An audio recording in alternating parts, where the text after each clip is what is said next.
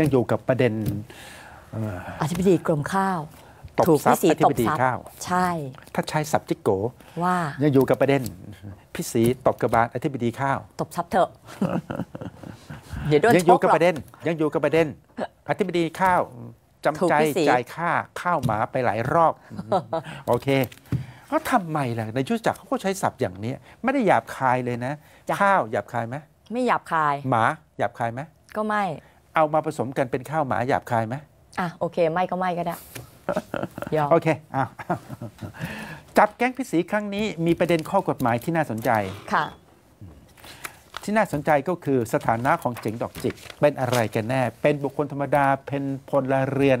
เออหรือเป็นราชการ หรือเป็นเจ้าพนักงานของของรัรัฐฐหรือเป็นเจ้าที่ของรัฐ หรือเออเป็นอะไรอย่างไร ตรงนี้มันมีความหมายนะ ใช่เจ้าหน้าที่ของรัฐ ถ้าอืมเจ๋งดอกจิก ถูกนิยามว่ามีสถานะเป็นเจ้าพนักงานของรัฐ หรือเจ้าหน้าที่ของรัฐเออถ้าถูกนิยามไว้ดังนั้นนะยาวเอ่อข้อหาที่จะเจอก็คือ เป็นเจ้าหน้าที่หรือเป็นเจ้าพนักงาน แล้วเรียกเรียกรับและรับเรียกแล้วโทษสูงสุดประหารเอ่ออืมติดคุกตลอดชีวิต เอาพูดตรงๆติดดังคุกตนั้นลอดชีพ พี่สีแม้เป็นพลเรือน แต่ไปเป็นตัวการร่วม แต่สนัไปบสนุนเป็นผู้ สนับสนุนเจ้าพนักงานก็โดนด้วยเรียกรับ คราวนี้ก็หนักตามสิ ตัวการหลักเจ๋งถ้าคดีหนัก ถ้าหนัก ตัวการร่วมผู้ให้การสนับสนุนก็หนักตามไปด้วยอืถูกไหมอันประนี้เด็นมีมันอยู่ตรงคีย์เวิร์ดนี้นี้สำคัญนะเรื่องนี้โอเคดังนั้นเราจะไล่เรียงสถานะของเจ๋งและรวมถึงสถานะของเมียเจ๋งด้วยก็คือกระกระต้นนะเอาเหรอโอเค เป็นเมียเลยเหรอ โอ้ยเอาเลยเหรอพี่สีบอกว่าเป็นเมีย อืมอะโอเคเชื่อพี่มาสีนะเชื่อพี่สีเชื่อพี่สีถ้าไม่เชื่อพี่สีจะเชื่อใครอะะเชื่อพี่โดนัยอืมอะโอเคมามาดูคำสั่งรองนายก ย้อนกลับไปดูคำสั่งรองนายกเมื่อวันที่ 15 ฟังให้ดีนะ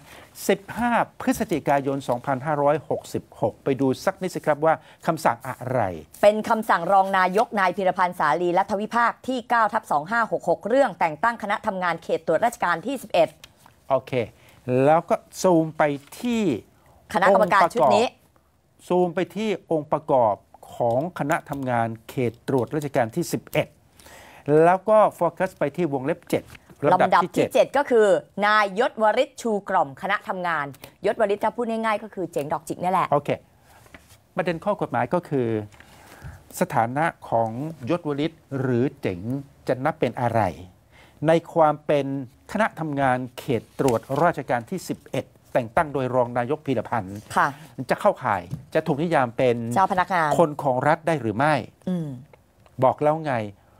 โทษเรียกรับมันแตกต่างกัน ถ้าเป็นประชาชนคนธรรมดาอืมอืมไปตอบกระบาลกันไปเรียกรับกัน มันก็แค่กันโชคทรัพย์ กันโชคโทษเบากว่าเยอะ เบากว่าเยอะกันโชคทรัพย์มันเบากว่าเยอะ กันโชคแต่ถ้าอะ เป็นคนของรัฐไปตบกระบาลไปเรียกรับ อืม โอ้โห ติดคุกตลอดชีพติดพูดคุกตลอดง่ายชีวิตๆติดแตคุกกตต่าลงอดกันชีพตรงนี้ จะนิยามกันอย่างไรค้างไว้เป็นประเด็นนะ ถึงว่ามีคนพูดประเด็นนี้เรื่องเยอะค้างไว้เป็นประเด็นนะ มันเป็นไฮไลท์ของข่าวนี้เอง เป็นคำสั่งเมื่อ 15 พฤศจิกายน2566ค่ะโอเคนะคราวนี้ไปกันอีกหนึ่งคำสั่งค่ะเช้าเช้าๆของวันที่ 26 มกรา26 มกรา67 วันนั้นมีการจับแก๊งพี่สีใช่ไหมแต่เขาจับตตออนนบ่าบ่ายยตอนบ่ายแต่เขาจับตอนบ่าย แต่เช้าวันนั้นใน Facebook ของน้องการ์ตูนที่ชื่อ พิมพ์นัทธาจิระพุทธิภาค ก็ได้โพสต์ ก็ได้โพสต์ขอบคำสั่คุงณอืมก็ได้โพสต์ขอบคุณท่านรองนายกพีรพันธ์ที่ให้โอกาสเอ่อทำหน้าที่ที่ได้รับมอบหมาย โอเค มอบหมายให้ทำอะไร ก็ไปไปดูดูคำคำสั่สั่งงที่โพสต์แนบท้ายข้อความใน Facebook ค่ะ เป็นคำสั่ง รองนายกนายพิรพันธ์สาลีรัฐวิภาคคำสั่งที่6ทับ2567 เรื่องแต่งตั้งคณะทำงานเขตตรวจราชการที่ สั่งมานะ 11 สั่งมาณวันที่ 26 มกราคม 2567 ชื่อคุณพิมพ์นัทธาจิระพุทธิภาครองนายกพีรพันธ์ตั้งการ์ตูนเป็นคณะทำงานเขตตรวจราชการที่ 11 ในชุดเดีวัยวนกันเดีใช่ยวไหม กันกับที่การ์ตูนถูกจับ อืม พอตกบ่ายวันที่ 26 มกราวันที่ถูกจับ ตอนบ่ายๆเจ๋งยังนั่งประชุมอยู่ที่ทำเนียบเลย ใช่ค่ะที่ทำโค้ดเนียบบอกด้วยที่ทำเนียบเนี่ยเอ่อรองนายกพิรพันธ์เรียกประชุมคณะทำงานเขตตรวจราชการที่ 11 ที่ทำเนียบใช่ปราค่ะกฏว่าเจ๋งก็เข้าไปประชุมด้วยค่ะแล้วมีก็ป้ายได้ชื่อโพสด้วยต์นะอวด แล้วก็ได้โพสต์อวด ใช่ค่ะ แล้วก็ได้โพสต์อวด ประชุมคณะกรรมการเขตตัวราชการที่ 11อืมสกลนครนครพนมมุกดาหารที่ทำเนียบ ท่านพีรพันธ์และ เอ่อเป็นประธานอืมเป็นประธานเอ่อเพื่อให้นโยบายในการทำงานอืมปรากฏว่าเจ๋งเข้าไปนั่งประชุมเข้าด้วย และป้ายที่นั่งของเจ๋งเนี่ยบนโต๊ะเนี่ยทำมีการป้ายตั้งป้ายชื่อ บอกว่าเป็นคณะกรรมการชุดนี้ใช่ปกติถ้ามีองค์คณะที่มีชื่ออยู่ในคณะกรรมการเข้าร่วมประชุมทุกคณะนะส่วนใหญ่จะมีป้ายชื่อ ถ้าเป็นผู้ติดตามสังเกจะไม่มี ถ้าเป็นผู้ติดตามหรือเป็นผู้สังเกตการณ์ไม่มีคุณนั่งตรงไหนตรงนั้นจะไม่มีป้ายชื่อของคุณ นั่งตรงไหนก็ได้ที่ว่าง ถ้ามีป้ายชื่อค่ะแสดงว่าคนที่นั่งอแต่งตั้ยู่งตรงนั้นได้รับการแต่งตั้งค่ะมีสถานะค่ะ แสดงว่าวันที่ 26 ก็ยังมีสถานะเป็นคณะทำงานถูกไหมป้ายชื่อยังตั้งอยู่สีชมพูอะอืมแต่หลังจากที่เกิดเรื่องเกิดราวค่ะพอตกบ่ายๆเย็นๆของวันที่ 26 มีการบุกไปจับเจ๋งถึงทำเนียบนะ ใช่ค่ะ จับสีที่บ้าน จับจับเจ๋งที่ทำเนียบขณะใช่ที่นั่งประชุมอยู่ที่ทำเนียบหรือเปล่าทำเนียบหรือหลังประชุมอืมไม่แน่ใจแต่หลังไปแล้วจัหลังที่แล้วทำเนียบอืมไปจับที่ทำเนียบ ใช่เห็นเดินโอ้โหเดินลงมาอืมโอ้โหค่ะเรื่องมันยาวเลยสถานะมันเป็นอะไรอย่างไรค่ะเราจะต่อสายไปที่พลตำรวจตรีจรุนเกียรติปานแก้วค่ะ รองผู้บัญชาการตำรวจสอบสวนกลางหรือผบชกนะคะ รองผบชกสวัสดีค่ะสวัสดีครับท่านรอง สวัสดีค่ะ ครับ ครับสวัสดีครับคุณดนายคุณอมรรัตน์ครับทุกครัท่าบนผู้ชมครับ ครับค่ะ เราตั้งข้อกล่าวหาแก๊งพี่สีอย่างไรครับ โดยเฉพาะอย่างยิ่งเข้าใจว่าไฮไลท์จะอยู่ที่เจ๋ง เจ๋งนี่เรานิยามเป็นคนของรัฐหรือไม่ครับ หรือเป็นอย่างเจ้าหไรน้าที่หรืคอรับเจ้าพนักงานไหมคือคืออ่าเรื่องเรื่องเนี้ยเราข้อกฎหมายตรงเนี้ยเราได้ได้ส่งเรื่องทั้งหมดเนี่ยให้ปปชเนี่ยพิจารณาแล้วปปชพิจารณาแล้วว่าเจ๋งเนี่ยเข้าข่าย เป็นเจ้าหน้าที่ของรัฐอ่าเป็นเจ้าที่ของรัฐของรัฐ อืมอืมครับอืมอืมเป็นเจ้าหน้าที่ของรัฐนะย้ำนะเป็นเมื่อเจ้าหเป็น้านที่เจ้าหน้าที่ของรัฐดังนั้นจึงเจอข้อกล่าวหา เป็นเจ้าหน้าที่แล้วก็เรียกรับ โทษสูงสุดครับก็คือจำคุกตลอดชีวิตถูกไหมฮะครับประหารชีวิตประหารชีวิตเลยเหรอครับจำคุกตลอดชีวิตแล้วก็ไปมั้ยถึงแต่พอสุดท้ายก็จำคุกตลอดชีวิตถูกไหมอืฮะมครับถ้าเอาถ้าเป็นพวกเจ้าหน้าที่ของรัฐเจ้าพนักงานของรัฐเนี่ยโทษมันจะรุนแรงโทษครัจะบแรงกว่า คนธรรมดาครับ ครับครับถ้าไม่ถูกนิยามเป็นเจ้าที่ของรัฐ เจ๋งก็เจอแค่ขู่กันโชคทรัพย์ถูกไหมฮะที่ทรัพย์ธรรมดาไม่เกินห้าปีโอเค ไม่เกิน5ปี แต่ถ้าเป็นเจ้าหน้าที่แล้วเรียกรับ คราวนี้ติดคุกตลอดชีวิต มันหนักกว่ากันเยอะ เมื่อเป็นดังนั้นเมื่อเป็นดังนั้นเราจึงตั้งข้อกล่าวหาอย่างเป็นทางการเอากับเจ๋งว่า เป็นเจ้าพนักงานของรัฐแล้วก็เรียกรับถูกต้องนะฮะใช่ครับ เช่นเดียวกันกับการ์ตูนเนยนะฮะการ์ตูนเอ่อเอ่อ พิมพ์นัฐฐานเนี่ยการ์ตูนเนี่ยการ์ตูนเราก็ตั้งข้อกล่าวหาข้อกล่าวหาเดียวกันใช่ไหมครับ คือถ้าตามข้อเท็จจริงแรกที่ที่จากปปชส่งกลับมา เราก็ต้องเอาเจ๋งเนี่ย เป็นตัวหลักในเรื่องของเกี่ยวกับเรื่องของอ่าข้าราชการหรือเจ้าหน้าที่ของรัฐอะไรพวกเนี้ยนะครับครับแต่ตอนเนี้ยวันวันวันที่ยี่หกเนี่ยหลัง หลังจากเราจับกลุ่มแล้วเนี่ยอ่าตั้งแต่ตอนเช้าเนี่ย ตอนช่วงช่วงสายๆหรืออะไรเนี่ย ครับคุณจตุรเนี่ยก็โพสต์ว่าอ่าท่านได้รับการแต่งตั้ง คือความผิดเนี่ยมันเกี่ยวโยงกันมา อ่า ตั้งแต่เราเก็บพยานหลักฐานเรื่อยมาเรื่อยๆการ์ตูนเนี่ยก็มาโผล่เป็นเจ้าอีก ซึ่งวันนั้นเนี่ยอ่าการ์ตูนเนี่ย ก็ยังลูกอยู่ร่วมในการจะทำความผิด ครับในช่วงที่จะมีการเจรจาในการมอบเงินให้กับ ครับรัฐลานะครับที่ที่บ้าน ครับครับเป็นคนกลางนะครับ ทั้งต่อจานทั้งครับต่อเต่าครับเป็นคนกลางในจะมอบเงินห้าแสนอยู่ ผมเนี่ย อยู่กับผู้เสียหายก็คือธัญญาท่านท่านนายกบดีเนี่ยตลอดเวลาครับ เราเราทราบข้อมูลแล้วก็เห็นข้อเท็จจริงทั้งหมดนะครับ ครับก็ยืนว่า อ่า เดี๋ยว เดี๋ยวก็คงต้องแจ้งข้อข้อกล่าวหาคุณตูนเนี่ย เป็นเจ้าหน้าที่ของรัฐด้วยนะคอ๋รัอบครับ โอเค ครั้งแรกตูนเองอาจจะเป็นแค่ผู้ให้การสนับสนุน แต่แต่จากข้อมูลใหม่ 26 มกรามีคำสั่งแต่งตั้งการ์ตูนเผลอๆจะต้องยกระดับข้อกล่าวหาเป็นคนของรัฐแล้วก็ไปเรียกรับถูกต้องนะฮะอืมครับพี่สีของกระผมแล้วครับ จะเจอข้อหาอย่างไรสนับสนุนครับสนับสนุนยังไงก็สนับสนุนใช่โทไหมษหนัคะกไหมโทษหนักไหมก็รับโทษสองในสามนะสองในสองในสามสามของตัวการหลักครับ หมายความว่าเจ๋งนี่ถ้าติดคุกก็ติดคุกเยอะกว่า ครับ อืม ทั้งๆที่ในความเป็นจริงยอะกว่าทั้งๆที่ในความเป็นจริง และโดยข้อเท็จจริงพิศรีนี่แหละเป็นตัวการหลัก แต่โดยข้อกฎหมายมันผูกกันมาดังนี้เอิ่มไม่ใช่พิศรีก็จะรับโทษแค่2ใน3ของโทษที่เจ๋งจะได้รับถูกไหมฮะอืมครับ อืมโอไม่เคใช่ต้องต้องต้องเข้าใจอย่างนี้ก่อนคุณทนายครับคคุรับณทนายครับ เอ่อพวกนี้ทำเป็นขบวนการ ครับค่ะ นะครับ แล้วผมยืนยันว่าเดี๋ยวมันกำลังจะโผล่ตัวที่อยู่เบื้องหลังมาอีก เปิดแน่นอนใช่ไหมคะ คนอยู่เบื้องหลังจะถูกเปิดใช่ไหมคะ จะไม่หายไปใช่ไหมคะวันสองวันนี้เปิด อีก2วันค่ะอีก2วันจะเปิดใช่ไหมครับ ไม่เกินไม่เกิน ไม่เกิน2วันจะเปิด ไม่เกิน อืม ไม่เกิน ไม่เกินหรอกไม่เกิน2วันจะเปิดตัวละครเพิ่มขึ้นอีกหนึ่งคนใช่ไหมฮะ ก็ต้องมีการออกหมายจับกัน ออกหมายจับให้แจ้งข้อกล่าวหา แจ้งข้อกล่าวหา เป็นตัวการใหญ่ของ3คนนี้ไหมคะ หรืออยู่ในขบวนการเดียวกันเฉยผมผมบอกว่าพวกนี้ทำกันเป็นขั้นเป็นตอนๆเป็นขั้นเป็นตอนโอเคเข้าใจละเข้าใจละ ผมนึกออกแล้วอืมเอิ่มท่านรอง ผมเขียนข่าวข้ามช็อตไปเลยดีกว่า จะออกหมายจับเอกใช่ไหมขอให้เป็นเรื่องของพนักงานสอบสวน เดี๋ยวกำลังรวบรวมพยานหลักฐานอะวันนี้รเราอทำไปแล้วเดี๋ยวเดี๋ยวเดี๋ยวเดี๋ยวเดี๋ยวเดี๋ยวเดี๋ยวท่านรอง ปฏิเสธผมสักหน่อยสิ ท่านรองไม่ปฏิเสธผมเลยนะ จะออกหมายจับเอกใช่ไหม โอ้โห เดี๋ยวเดี๋ยวเดี๋ยวมันจะต้องทำให้เป็นเรื่องเป็นราวอ่าอดใจรออดใจรอคือมคือคือคือผมบอกว่าวงเนี้ย เดี๋ยวเราจะเอาวงนี้ก่อนเอาวงนี้อ่าอ่าอ่าวงเนี้ยวงเนี้ยที่มันเกิดขึ้นทั้งหมดเนี่ย เดี๋ยวจะเอาวงนี้ก่อนอืมนะครับ แล้วอืมเดี๋ยววงอื่นเดี๋ยวค่อยว่ากัน เดี๋ยวผมโอเค ขยาย โอเคโอทีเคละกรมทีละกรโอมเคอืมโอเคคือเอกเนี่ยเขามีตรงเนี้ยเขาเขาเขาเขาเป็นตัวละครร่วมทั้งกรมข้าวแล้วก็กรมฝนหลวงขณะนี้เอาเฉพาะกรมข้าวก่อน แต่กรมข้าวนั้นเอกก็มาเกี่ยวข้องเพราะเจ๋งเขาใช้เอกเขาให้เอกมาคุยกับที่ปรึกษาหมูอ่าโอเค เข้าใจแล้วเข้าใจแล้ว อืมอืมเอาตกลงเราคิด เราจะทำวงนี้ก่อนให้ให้ให้ให้เคลียร์โอเคแล้ววงโออื่เคน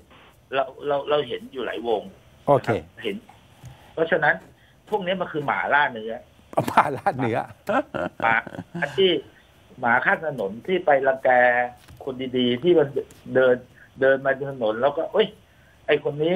มีมีถุงข้าวอยู่มีอะไรอยู่ อืมอืมอืมไปเห่าใต้กินอืมไปกัดไอ้พวกเนี้ยต้องอืมต้องเอาอย่างนี้นะอย่าอย่าไปอืมอย่าไปให้ค่าพวกนี้ โอเคเข้าใจค่ะเข้าใจงั้นขอถามแล้วแล้วที่ปรึกษาหมูเกี่ยวข้องไหมคะ หรือว่าเป็นแค่ไม่ได้มีส่วนเกี่ยวข้องกับในกระบวนการนี้หรือยังไงคะ ฝ่ายนะครับ ตอนเนี้ยผมไม่ได้เข้าข้างใครนะฮ่าฮ่าฮ่าค่ะการฐานผมบอกว่า ผมคุยกับผู้เสียหายตั้งแต่วันเกิดเหตุแล้วฮ่าวันที่มาแล้วฮ่าไปดูฐานแล้วฮ่าอ่า คนที่อยู่หน้างานที่สุดเนี่ยจะเข้าใจเรื่องฮ่าเรื่องนี้ข้าราชการคนหนึ่งที่ถูกรังแกโอเคครับอืมครอบครัวเขาออกมาปกป้องครับค่ะการพูดเจรจาเนี่ย มันเป็นเรื่องของ การแก้ปัญหาของครอบครัวเขาเพื่อไม่ให้ครับให้การอย่างนี้ยต้องเสียชื่อเสียงหรือครับเสียอืมครับต้องไปโดนตั้งกรรมการ หรือโดนโยกย้ายหรือโดนอะไรพวกเนี้ยครับมันเป็นเรื่องปกติบางทีคนเราอะไม่ผิดหรอกอืมนายอืมคนรัฐค่ะเราไม่ผิดหรอกแต่ครับมึงมาร้องกูเนี่ยกูนี่แม่งต้องเหนื่อยต้องชี้แจงกูเสียชื่อเสียงก็เสียไปแล้ว มันเสียไปแล้วเข้าใจมันเสียไปแล้วระบบการไทยมันเสียไปแล้วอืมันแก้ยากโออะเคอืมโอเคแต่ผมบอกพี่ทนายพี่หมอรัฐนะครับ ถ้ามาร้องคนเรามีวิธีการแก้ปัญหาเนี่ยต่างกันครับบางคนก็เอ้าดูแลกันพักพวกกันก็จบไป แต่ครับก็คือค่ะไม่ได้ไปให้อะไรนะก็คือดูแลพักพวกก็จบไปครับ อย่างผมอะถ้ามาเรียกผมแล้วผม ผมไม่ผิดอะ ครับ ผมว่า ผมผมคงจะให้ก้อนหินแม่นะ โอเคโอเอาเควิธีการไม่เหมือนกันนะแต่ละโอเคคนวิธีการไม่เหมือนกันพี่เอเข้าอใจเข้าเข้าใจใจเข้าเข้าใจใจได้ อีกเรื่องหนึงอีกเรื่องหนึ่งสถาผมจะกลับไปที่ประเด็นสถานะของเจ๋งนะคือทางพักรวมไทยสร้างชาติเขาออกมาเอ่อเอ่อให้ข้อมูลเขาบอกว่ากรณีของเจ๋งเนี่ยได้มีการปลดออกจากความเป็นคณะทำงานของรองนายกไปแล้วตั้งแต่เดือนธันวาสมมุติก่อนสมมุติว่ามีหลักฐานจริง ๆ มีการปลดเจ๋งออกจากคณะทำงานของรองนายกตั้งแต่ธันวาคม 66 จริง ๆ เรามาจับเข้า 26 มกราคม67 มันจะมีผลแบบเปลี่ยนแปลงสถานะตามกฎหมายในคดีนี้ของเจ๋งไหมครับ คือถ้าด้วยความเคารพนะครับ ผมก็เอ่อเป็นเจ้าหน้าที่ที่เข้ามาทำงานด้วยความเคารพอืมอ่าคำสั่งแต่งตั้งอะไรต่างๆ เนี่ย ที่แต่งตั้งขึ้นมา หรือจะยกเลิกคำสั่ง อันเนี้ยต้องผมต้องบอกนะพวกผมก็ทำการบ้าน ครับอืมผม ก็เก็บหลักฐานทุกอย่างไว้กับพวกผม ครับ แต่ผมยังไม่อยากจะเปิดอะไร ครับ แต่ผมก็บอกว่า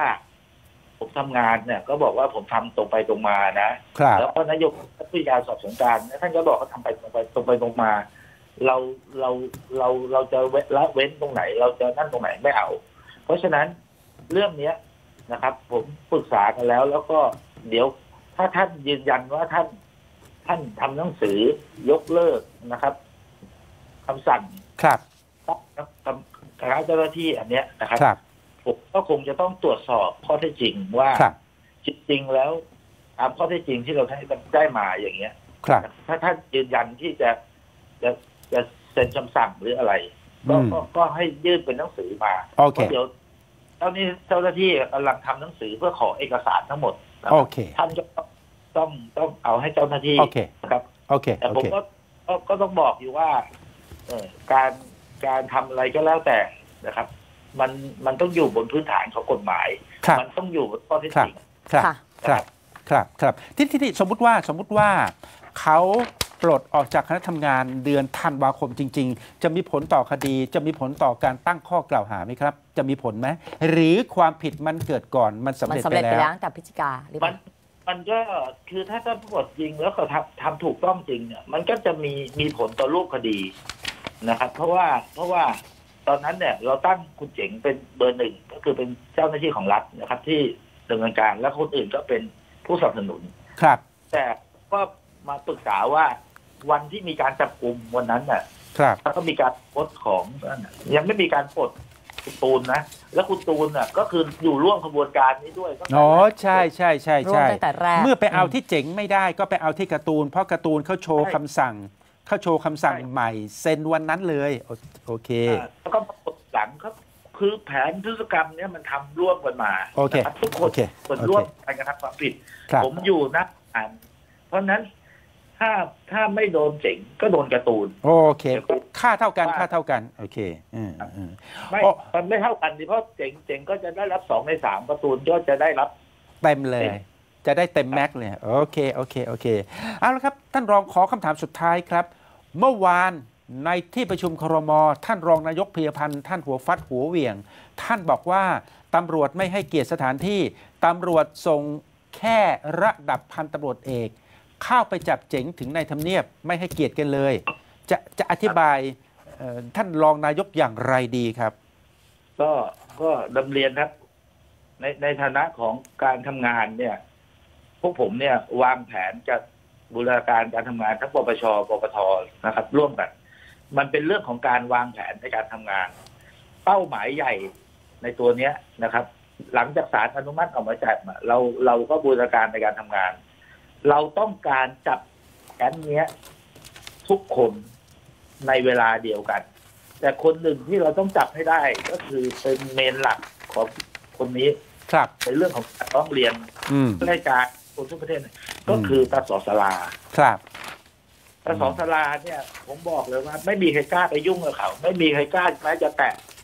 ครับทุกคนถอยกลัวครับอืมกลัวอืมนักการเมืองข้าราชการอะไร กลัวหมดเพราะมันไม่ทันปวดหัวฮะท่านเสียที่เสียงอืมเพราะฉะนั้นผมเลยเป็นคนคนหนึ่งที่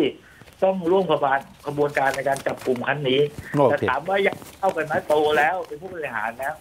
แต่เอาอะไม่เป็นไรประชาชนโดนฟ้องร้องกันมากข้าราชการโดนรังแกมามาก ก็คุณก็มาสู้กับเจ้าหน้าที่ของรัฐนี่แหละก็พวกผมนี่แหละคุณได้ฟ้องได้ร้องกับพวกผมนี่เองได้ได้ได้ได้ได้กราบคือขอบคือคุผณมบอก การที่เราเราเราจับเสร็จแล้วเนี่ย เราก็ส่งสัญญาณไปตรงนี้สำคัญครับฮะเราส่งสัญญาณไปทางชุดที่สะกดรอยติดตามตั้งแต่เช้าแล้วเนี่ยฮะตั้งแต่กลางคืนตั้งเช้าฮะฮะแล้วก็ตัดที่ตรงนั้นฮะที่เกิดเหตุก็คือเนี่ยฮะเราบอกว่า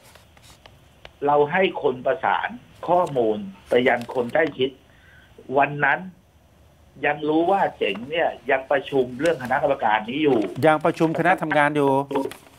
ยังประชุมอยู่อืมบอกว่าตอนนี้เรามีการจับกลุ่มศรีสุวรรณอืมเราขอประสานงานอยากให้คุณเจ๋งเนี่ยอืมมามามอบตัวกับเจ้าหน้าที่อืมเจ้าหน้าที่ได้อยู่ที่รถอะไรพวกเนี้ยแล้วอืมหรือจะไปมอบที่ปปปเนี่ยก็ได้อืมแต่คือเหตุการณ์วันนั้นมันก็ชุลมุนวุ่นวายนะผมก็อืมตะกันยุ่งกับคุณศรีอยู่นะคุณคุณสอสลาอยู่ ครับครับครับไม่อืมได้ไปเจตนาที่จะไปลบหลู่สถานที่หรืออะไรโอเคแต่โอเคแต่ว่า มันเป็นผู้ต้องหาสำคัญเมื่อจับตัวหนึ่งใหญ่แล้ว ตัวเนี้ยเราก็ประสานงานไปจนคนรู้จักหรือคนที่สามารถที่จะประสานงานกับท่านพิรพันธ์ได้ ก็ขอความเลยนะครับตาท่านท่านส่ง เพราะว่าเป็นคณะทำงานของท่านครับนะครับครับนี่ก็คือข้อเท็จจริงไม่ไม่โอเคเกี่ยวกับยศตำแหน่งอะไรโอเคคนโอเป็นเคเป็นตวนเป็นพลตำรวจก็จัด